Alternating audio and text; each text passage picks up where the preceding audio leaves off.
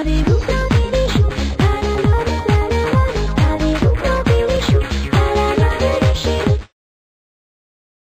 Je crois que son problème, je vois bien qu'elle a travaillé d'ailleurs au New York Times, Voilà. c'est la vision extrêmement binaire. Il y a le bien, il y a le mal. Moi, je suis pas Trumpien, hein, franchement. hein. Moi non je vote pas euh, aux États-Unis. Franchement, j'aurais pas voté Trump. Mais bon, euh, l'idée quand même, ça c'est l'idée du New York Times et de tous les médias, hélas, dans le monde. Je dirais, regardez le monde aussi en France, c'est pareil. Tout est pareil. Oui, c'est pareil chez C'est-à-dire, nous, hein. il y a le bien et il y a le mal. Donc méchant Trump à longueur de journée. On fait pas notre boulot, je suis désolé, euh, chère madame, on ne fait absolument pas notre travail de journaliste, un peu humble. Quand- au lieu de transformer les journaux en torchons électoral, expliquer tous les jours que c'est pas bien, que euh, Trump c'est la dictature, qu'il est en train d'apporter la dictature, que c'est la ruine, etc.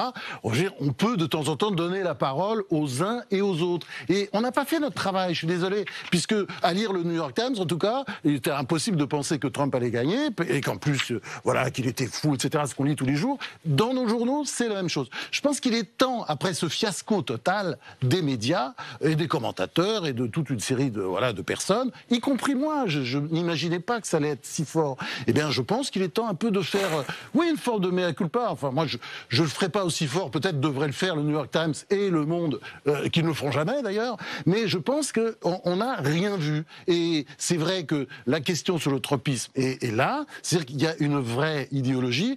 Moi, c'est pas la mienne, enfin, elle existe, elle est là. Et, je veux dire, je comprends pas que euh, notre travail, si vous voulez, pour moi, ça ne consiste pas à condamner, à dire c'est pas bien. Euh, c'est aussi d'essayer de comprendre, de faire parler, qu'est-ce qu'ils veulent, pourquoi ils veulent. Et puis aussi de dire les choses, puisque je vois pas en quoi c'est gênant, parce que je vois que ça gêne beaucoup. ça, euh, C'est très peu écrit dans les journaux d'ailleurs, que euh, so- le- il, a, un- il a eu un soutien très fort chez les Latinos, qu'il a beaucoup plus de soutien chez les Noirs que la plupart des candidats républicains. C'est-à-dire, il y a un phénomène, un phénomène qui dépasse tout et qui en plus, euh, comment dire, euh, il, il réussit ce score en ayant du, tout, tout le monde contre lui. C'est-à-dire le monde de l'argent, les fundraisers, on le voit très bien, euh, ils sont du côté des démocrates, ils ont donné tout le pognon et je vois jusqu'au plus petit sénateur, il a toujours le double du sénateur républicain qui va le battre parce que ils ont quand même bien réussi dans- au niveau des sénatoriales.